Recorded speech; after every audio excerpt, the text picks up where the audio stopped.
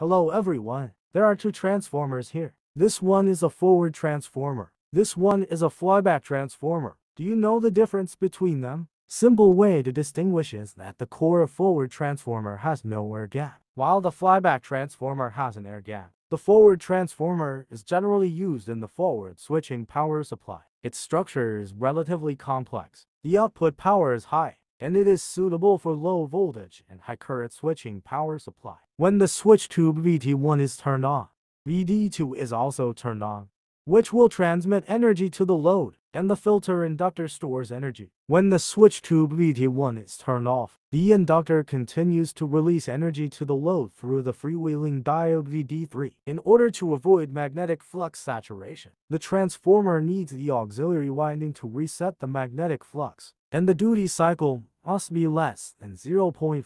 For these reasons, the size of the forward switching power supply is larger than that of the flyback switching power supply. The flyback transformer is generally used in the flyback switching power supply. The transformer can be used to isolate the input and output circuits, so that it not only plays the role of transforming voltage and transmitting energy, but also plays the role of energy storage inductor. When the switch tube VT1 is turned on, the induced voltage of the primary winding of the high-frequency transformer T is positive at the top and negative at the bottom, and the rectifier diode VD1 is in the cutoff state. When the switch tube VT1 is cut off, the energy stored in the primary winding of the transformer T is output to the load through the secondary winding and VD1. In addition, the secondary can also provide a reset voltage for the magnetic core. So the flyback transformer does not need an additional magnetic flux reset winding. Forward transformers have high output power and high work efficiency, but the cost is higher and normally used in high power power supplies, while the flyback transformer can make for low power,